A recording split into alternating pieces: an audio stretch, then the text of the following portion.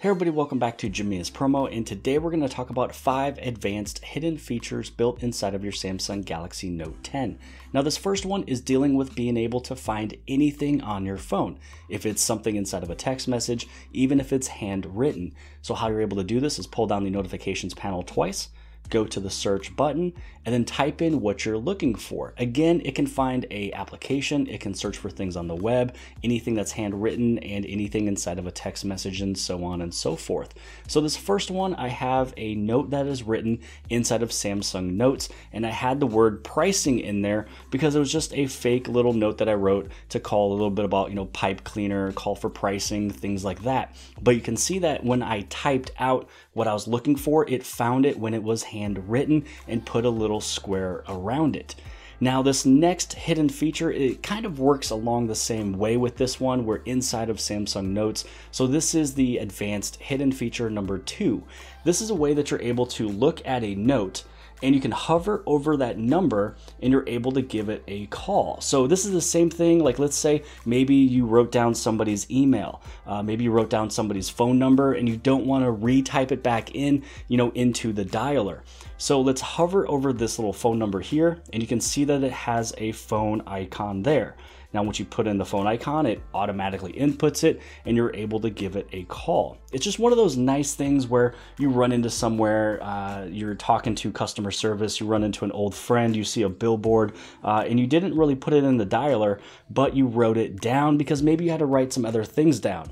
Now you don't have to double time it and be like, okay, I have it all written down. Now I got to put it in my dialer. Hidden feature number three is to be inside of your Edge panel. Now let's say that maybe that there is a photo that you always show all the time. Maybe it's a photo of your puppy. Maybe it's a photo of a family album, uh, a daughter, your, your fiance, a wedding day, just something that you always tend to always show people. So this was an image uh, that was taken on October 16th, 2019. So that's a few months ago. I would have to go into my gallery and scroll all the way down. I'd have to try to find it and see where it is. I could also put this one as a star or a favorite, but this is just a way that you're able to go right inside of your Edge panel, click it, done, over, and finish. So it's super quick, super easy. So how you're able to set this up is open up your Edge panel, scroll through until you find tasks. Now, if you don't have the task panel, just go underneath your settings, select tasks, it's gonna show up. It brings you this panel here. Go to the plus button, you're gonna scroll down to underneath where it says gallery, select your image. It's gonna open up your gallery as you scroll through to find that one image that you've been looking for. Once you add it in, then it'll be saved right there. Hidden feature number four is playing with the edge panel color. So you can see here very faintly that there's actually a green little tab. So originally you were not able to change the color. I believe you were maybe able to start changing it maybe with the Galaxy S10 or with a couple of the previous updates.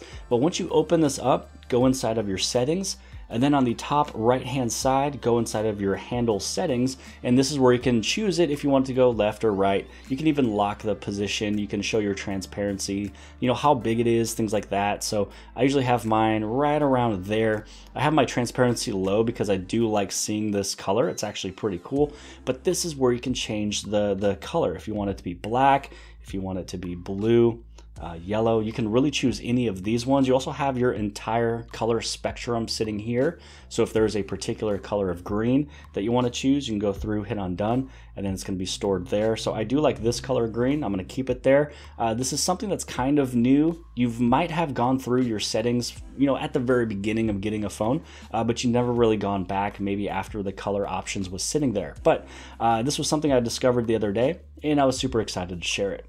Now for the last hidden feature, we're to go inside of the camera, and this was something that used to be one step less to do, and it was the ability of changing the brightness of whatever situation you're in. Originally, you would have to tap the screen once. It pulls up that little display brightness you're able to do if you want it darker or lighter. But now what you have to do is you have to press and hold, which is gonna bring you your autofocus and auto exposure lock, and then the brightness line comes in.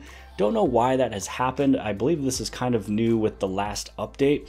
I used to remember just tapping the screen, changing the brightness, and I was done. So let me show you what I'm kind of talking about. So first off, I'm just gonna take a picture of whatever I see in front of me here. Now what I'm gonna do is I'm going to press and hold where I'm about to take the picture. Uh, and then we're gonna bring in a little bit of auto brightness and you're gonna be able to see that you can make the image look just a little bit better.